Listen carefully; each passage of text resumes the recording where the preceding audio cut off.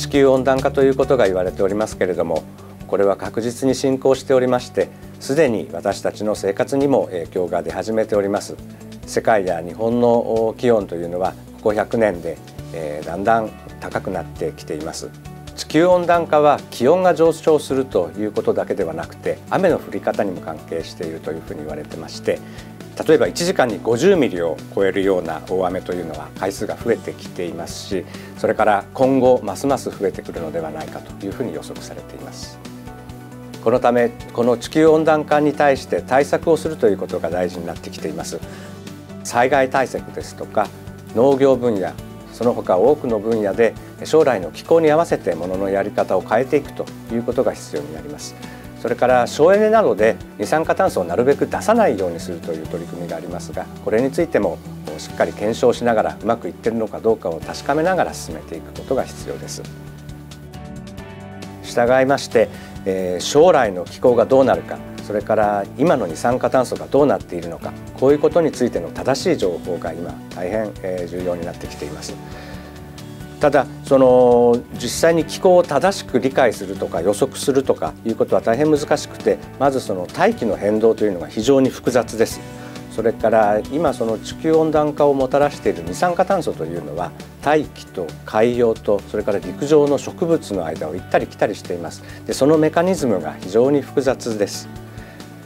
でこの複雑な気候の変化をきちんと理解するためには気象観測だけではなくて海洋も含めた地球全体の観測が必要になりますそしてその変化を科学的に分析するということのためには非常に高い性能を持った計算機を使って研究や予測実験をしていくことが必要です。まあ、これは非常に大きな巨大な科学分野でございまして世界の多くの気象機関や研究機関がみんなで一緒に協力をして進めています地球温暖化については気候変動に関する政府間パネル IPCC と言っておりますがここが定期的に評価報告書を出していますあの例えば気候システムの温暖化には疑う余地がないといった成果が出ていますけれどもこうしたものは世界のいろいろな関係者の努力を集積したものです。で気象庁も天気予報で、えー、培ったさまざまな技術がございますので、まあ、こういったものやそれから長年観測してきた観測データこういったもので、えー、この IPCC に貢献をしています。それから日本の国民の皆さんのためには日本に特化したきめの細かい気候の情報が必要です。気象庁ではこうしたことのためにも日夜努力を積み重ねてきています。こうした気象庁の科学的な挑戦の一部をご覧いただければと思います。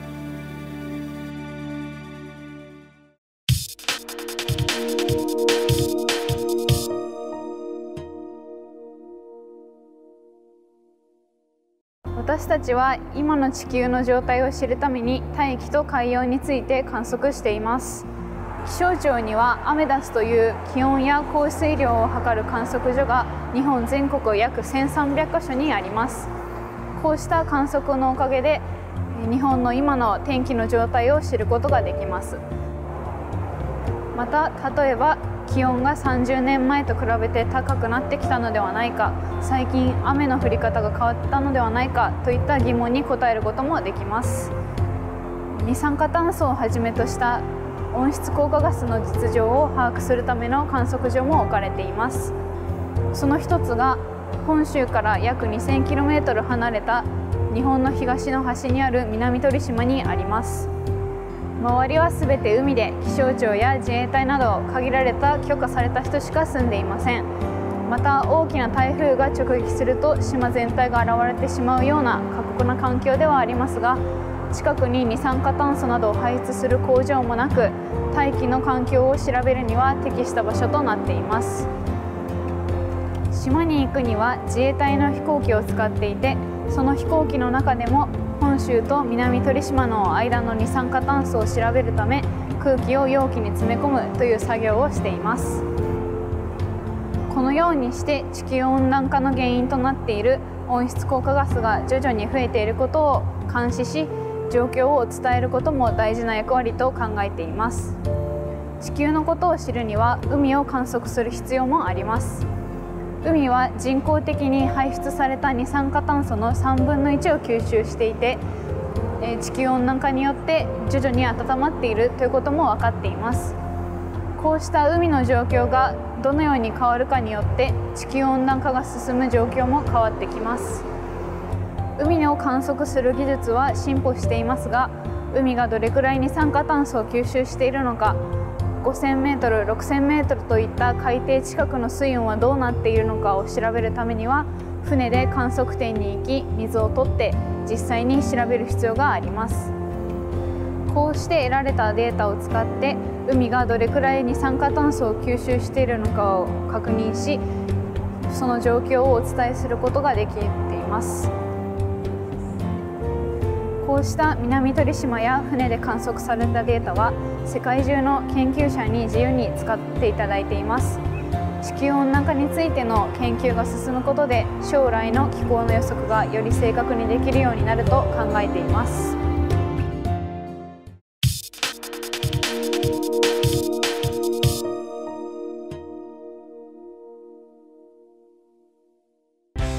私は海の観測をしている人たちを乗せて観測船を動かす仕事をしています。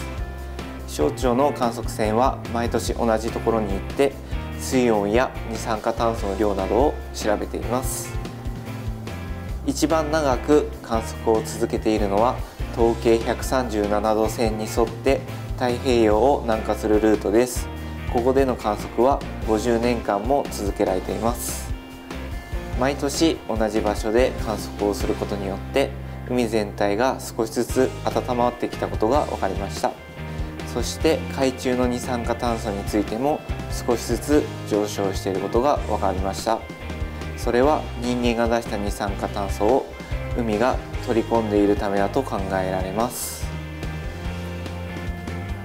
海は同じ場所でも風や天気によって毎日姿が変わっています。そのことは船乗りなら誰でも知っていることです。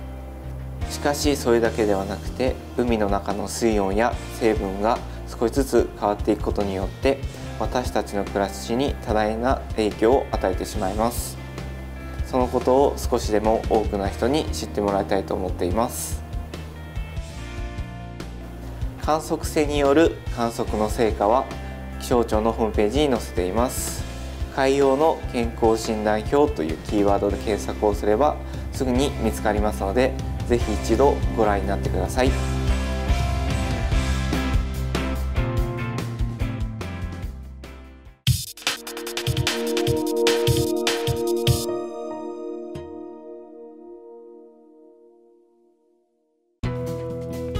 2015年の世界の二酸化炭素の平均濃度は約 400ppm です。これだけではこの値が大きいのか小さいのか分かりませんね。大気や海洋の観測データを使って二酸化炭素の変化の様子をグラフにしてみました。400ppm と過去のデータの値を比較すると増えているのが分かりますよね。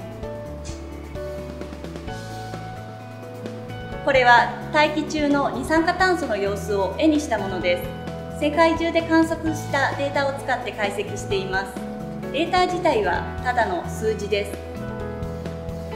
ただの数字が並んでいるのを見ても私たちはそこにどんな意味が隠されているのか分かりません。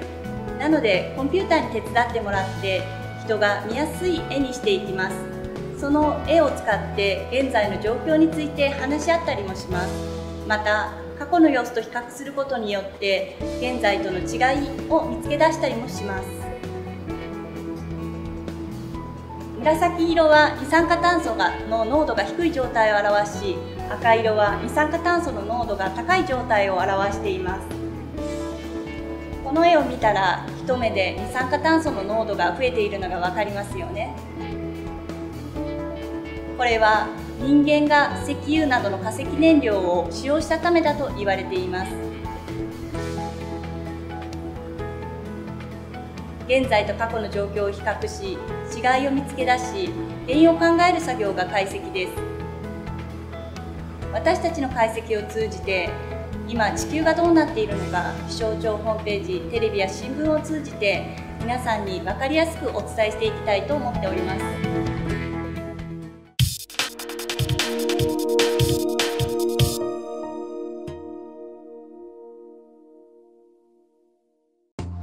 気象庁では象庁や諸外国の気象機関大学などが地球の状態を調べるために観測したデータをもとに将来の地球を予測するためのコンピューターシミュレーションを行っています。このシミュレーションでは気象庁の持っているスーパーコンピューターの中に物理や科学の法則に基づいて仮想の地球を再現し将来の地球がどのように変わっていくのかを計算しています。これを使って二酸化炭素などの温室効果ガスや黄砂オゾンなどの物質が地球の大気中にどのように分布してどのように地球の気候に影響を及ぼしているかについて調べることができます。また私たちがどんなことをすると地球の気候は将来どう変化してしまうのかを解き明かし10年後や100年後の地球の状態について予測するシミュレーションも行っています。気象庁ではスーパーコンピューターの能力を限界まで使いより正しい計算が行われるように技術を高めてきました。また気象庁や関係機関による観測データとシミュレーションを付け合わせシミュレーションが現実を忠実に再現できるよう技術の改善に力を注いできました。このため気象庁の気候シミュレーションは世界でもトップレベルです。それでもなお将来の気候の予測には不確実性が伴いシミュレーションではわからないことが多いです。今後も正確な観測データさまざまな研究の成果を取り込んでこの技術の改善に力を注いでいきたいと考えています。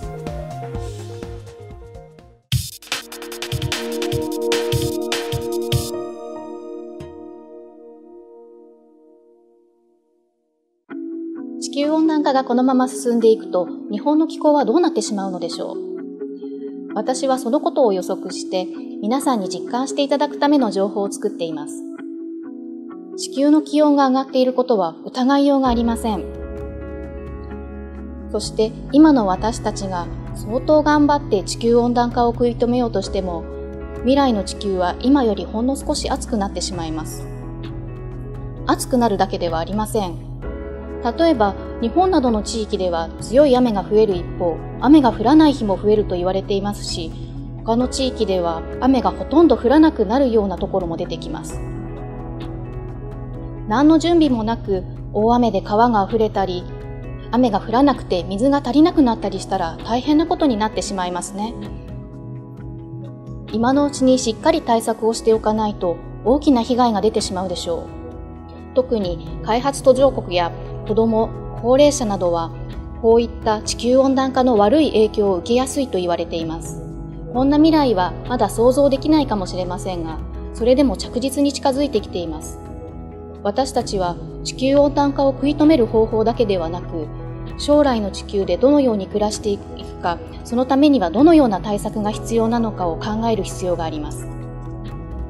そのためには将来の地球の気温や雨の降り方がどのようになっているか、そして私たちの住んでいるところではどうなるのかをしっかり予測する必要があります。私たちはその情報を作っています。もちろん私たちの仕事は将来の予測を出しておしまいというわけではありません。皆さんに知ってもらうこと、使ってもらうことが肝心です。実際に市や町、そして皆さんの将来の役に立って初めて意味が出てきます。ですから私たちは皆さんが住んでいるところの予測を将来の対策に使ってもらうよう県や市町村へ働きかけています。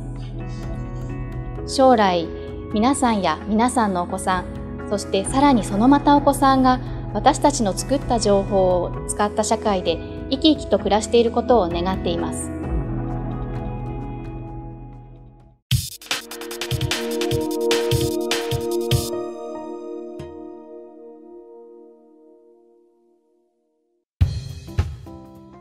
よく天気に国境はないと言われています。つまり日本で天気予報をやっていくには、日本から見て西に位置している国の天気の状況を把握する必要があります。また地球温暖化の問題も国境はありません。地球温暖化のような地球全体に関わるような問題は一つの国だけが頑張っても解決することはできません。これから発展していこうという国ももうすでに非常に発展している国もお互いに協力して解決策を見つけていかなければならないのです。幸い気象庁は世界でもトップレベルの技術を持っています。このためいろいろな国が気象庁の意見を大事にしてくれています。今後も世界と協力してより良い情報を作っていくために引き続き気象庁も頑張っていきたいと思います。